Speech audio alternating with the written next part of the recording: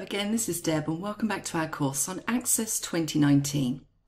It's now time to start using Access. So what we've got here is just a blank desktop and the first thing I'm going to do is I'm just going to search for Access using my search at the bottom here. Now I'm using Windows 10 so if you're using a different version of Windows then it might be slightly different but I'm just going to type in Access and you can see there the app is the first one listed. So I can click it just to open it. But because I'm going to be using Access all the time, what I prefer to do is right click and I'm going to select Pin to Taskbar.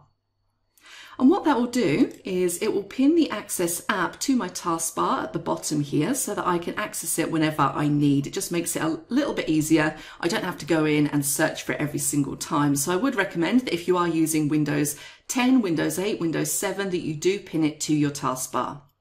So I can now just go in and click on the Access icon and that will open up the application. So this is where you'll be taken when you first open up Access, and this is what we call the Start screen.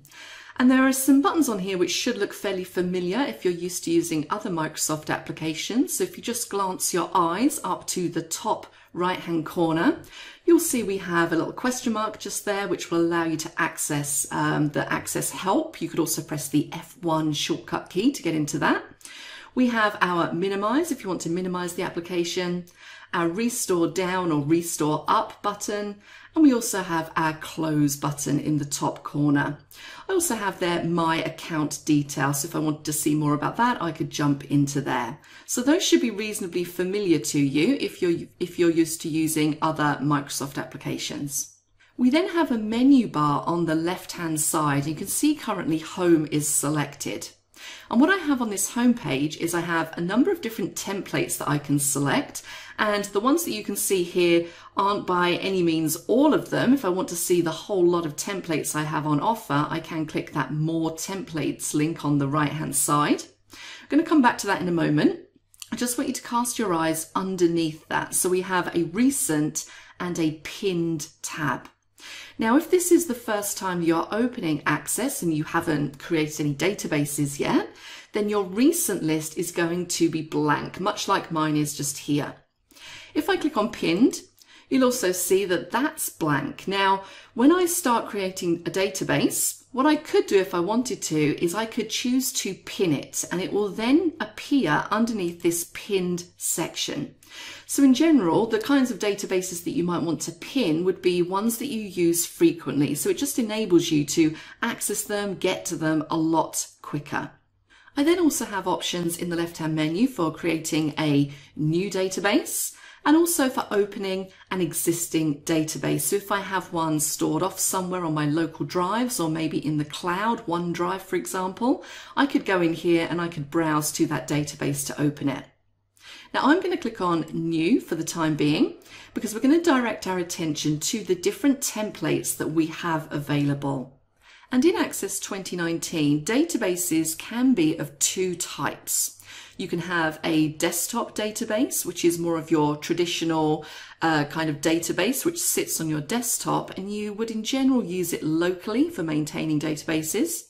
And alternatively, there is the web app, which is a database that is used online that you can share with others. Now, the reason why you might want to use a template is that it's a really good kind of jumping off point. So instead of just being faced with a blank database that you need to construct yourself, you might want to have a starting point that you can build on. And there are a whole host of templates available to you within Access. And you can see some that we have here. These are some of the more popular ones you might want to use. There is obviously a blank database, which you could use. We've got asset tracking, contacts, students, event management, so on and so forth. So it really depends on the type of database that you want to create as to which one of these is going to be most useful to you. If I scroll down, you can see eventually we do get to the end of the templates. Now, if you can't find what you're looking for just here, you do have a search bar at the top to search for more templates. So if I was searching for uh, contacts, let's just type that in. And I'm going to click the magnifying glass. That's going to go away. It's going to search all of the available Access templates and it's going to pull back any that are kind of related to or might be useful if I want to create a database of contacts. To come out of here, just click on that little backlink and it will take you back to that main starting template page. Now, what we're going to do is we're going to use one of these templates and we are going to use this one just here, the contacts template. So let's click on that. Now what I'm presented with when I select my template is I can see a preview essentially of what that contact list database is going to look like. Obviously it's fairly blank at the moment. I also have a description on the right hand side. So it says provided by Microsoft Corporation. And then I have quite a lengthy description as to what this database is all about. So essentially it creates and maintains a comprehensive database of your customers, partners and vendors using this popular template. It then shows me the download size. So this is a fairly small template at 143K. And underneath that, I then have an option here for choosing my file name. So essentially what I want this database to be called. And the information I have in there currently is really just the default name that Access assigns to this database. So it says database1.accdb. And it's worth noting that accdb is the file extension for databases in Access. And then underneath that, it shows me the path or where this database is going to be stored. So I can see currently that it's going to be stored on my C drive in my documents folder. And if I wasn't happy with that, I could go in and I could use this browse button and choose a different location in which to store that database. Now, I'm not going to change anything at this stage. We're going to actually save this database using a different name later on. So I'm happy with those defaults. Now, one thing else to point out before we actually create this database is just these arrows that we have on the right and left hand side.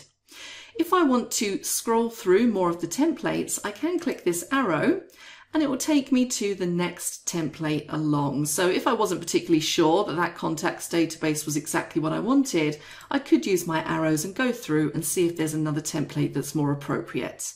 Now I'm just going to go back because I am happy with that contacts database. And I'm going to accept all these defaults and I'm going to click that big create button in the middle there.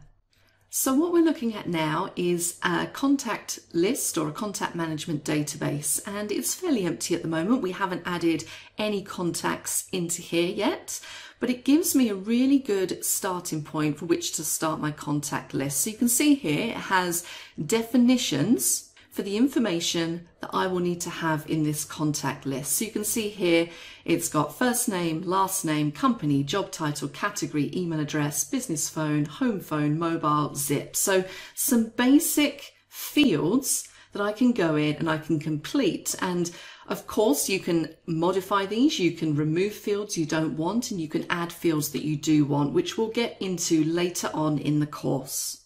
Now the panel on the left hand side that you can see here tells you what's included in this template.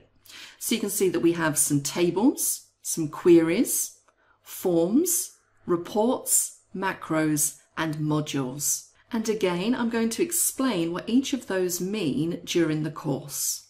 But this in general is typical of what you will see when you open up a template. Now it's worth noting that sometimes when you open a template, you may receive a security warning. Access does tend to default to being rather cautious when you're opening new files. So before you run it, you need to consider where that template came from. So the one that we've just opened was from the Microsoft website. It's an official template. So I'm pretty sure that that is a safe place to download this template from. However, if you've got your template from some other source, you might want to proceed with a little bit of caution. You don't want to download something horrible onto your PC in the form of a template. So just be aware of that. And if you do get a security warning pop up, if you determine that it does come from a safe location, just click the enable content button when you see that warning message. Now what I'm actually going to do is I'm just going to close this database down again and I'm going to reopen access. And I just want to show you that now, because we've created a database, underneath recent, you can see our database sitting there. So let's click on it to reopen it. And this is what you'll see sometimes is you'll get a welcome screen and it really kind of walks you through what the context database is all about. So you have some information just here and you also have a little video if you want to watch that. And all this screen does is it really gives you information on how to use this template. Now it's worth noting, and the reason why I've kind of shown you this is that you can create your own help screens and welcome screens as well, which can sometimes be particularly useful if you're sharing a database that you've created with other people. So it gives them an idea of how they can use that database. Again, I'm not going to get too much into that at the moment, but I really did think that that was worth highlighting so you know that you can do that. So I'm just going to close this window down and I'm actually going to close all of Access down again in preparation for our next module.